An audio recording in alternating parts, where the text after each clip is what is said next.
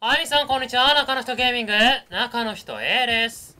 今回はね、えー、SVK が最強すぎる3つの理由ということで、えー、まあ、今回はね、まあ、14レベルでアンロックできて、まあ、BF2042 のね、えー、発売直後の今のこの環境で、まかなり強い SVK について、まお話ししていきたいなというふうに思います。で、えまず最強すぎる3つの理由っていうのをね、ま最初に言うと、まず1に、胴体2発キルの中で最速のレートを誇るからですね、え他の胴体の2発キルの中でもめちゃくちゃ速く打てるって、まあそういう話です。で、2に、マップが広すぎるからですね、まあもっと狭いマップがね、えー、たくさんあったらね、話変わってくると思うんですが、マップが広いので、まあ、こいつ強い。まあ、そういう話です。で、そして最後の3番目が、他の銃が弱すぎるからですね。まあ、なんか、このゲーム全般的に、なんていうんですかね、まあ、全般的にというか、全体的になんか、武器バランスめちゃくちゃな気がしますけど、まあ、他の銃が弱いから、相対的にこいつ強いっていう、まあ、そんな感じです。で、えー、まあ、これら3点の理由があるので、まあ、SVK は強すぎるっていう、まあ、そういう話なんですが、まあ、これだけだとね、まあ、ちょっとざっくりしすぎなので、まあ、ちゃんとね、何がどう強いのか順番に見ていきたいなというふうに思います。で、えー、まず一番最初のね、その胴体2発キルの中で最速のレートを誇るからっていうのは、まあ、これはまあもう読んで文字のごとくって感じですけど、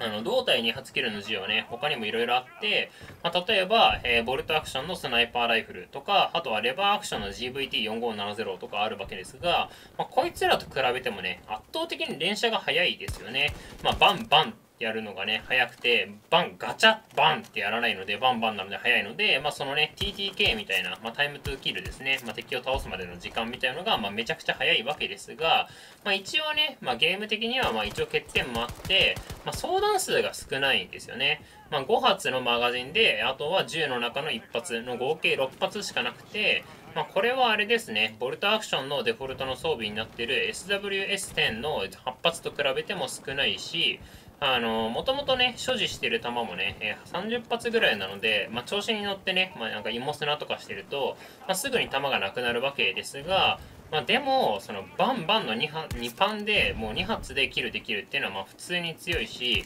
あと、しかも、今作は、その、スコープをすぐに乗せ替えられるじゃないですか。普通にね、まあ、マッチの試合中にね、直接乗せ替えられるので、まあ、遠距離から近距離まで、まあ、近距離は結構ね、腰ダメとかで行ける微妙な距離じゃないときついんですが、まあ、近距離まで行けるっていう、まあ、結構むちゃくちゃな性能というか、むちゃくちゃな仕様な上に、しかも、えー、こっからがね、まあ、2番目の理由になってきますが、まあ、今はね、そのハザードゾーンとポータルで、その武器のアタッチメントとかがね、まあ、アンロックできないっていう、まあ、そういう状況で、まあ、実質ね、AOW の、えー、コンクエか、まあ、ブレイクスルーっていうのをね、まあ、2つしかやりようがないっていう、まあ、そういう状況なんですが、まあまあ、マップが広いですよね。まあ、やっぱりマップが広いので、まあ、当然、光線距離が遠くなりがちっていう、まあ、そういうことで、まあ、SVK 強いよねっていう、まあ、そういうことですね。まあ、コンクエの拠点の中だとね、さすがに厳しいものありますが、まあ、基本的には、まあ、汎用性高くて強いっていう、まあ、そんな感じです。で、最後の3番目がね、まあ、他の銃が弱すぎるからですね。まあ、これはまあ、60レベルでアンロックされる対物ライフルみたいに、まあ、胴体ワンパンみたいな、まあ、そういうね、まあ、むちゃくちゃな銃がまだあるっぽいんですけど、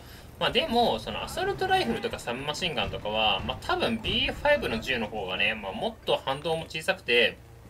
撃ちやすかったよねっていう、まあそんな感じなので、まあ、だから、そのアサルトライフルとか持ってきても、えー、今のこのなんていうのかな、SVK と中距離で戦っても勝てないよねっていう、まあ、そんな感じなので、だから、その M5A3 とかをね、まあ、リコイルコントロールして頑張るとか、そういうことするよりも、まあ、全距離に初キルのね、SVK をバンバンって打ってる方が、まあ、インスタントにね、まあ、手っ取り早くキルできるので、まあ、現状ね、まあ、SVK が強いという、まあ、そんな感じですね。まあ、将来的に、まあ、あと2週間ぐらいしたらね、まあ、SVK だらけになるんじゃないかなというか、若干今ももうすでに SVK はね、まあ結構はびこってるというかね、まあみんな使ってるっていう、まあそんな感じです。はい。というわけでね、今回はね、えー、SVK が最強すぎる3つの理由でした。えー、皆さんもね、SVK 多分弱体化されると思うので、まあ、今のうちにね、使いたい方は、えー、まあ、使っておいた方がいいかもしれないという、まあそんな感じです。はい。ではね、えー、この動画、えー、以上で終わります。えー、この動画、ふーんっていう風に思っていただけたら、えー、ぜひね、高評価とチャンネル登録よろしくお願いします。では次の動画でお会いしましょう。以上、中の人ゲーミング、中の人 A でした。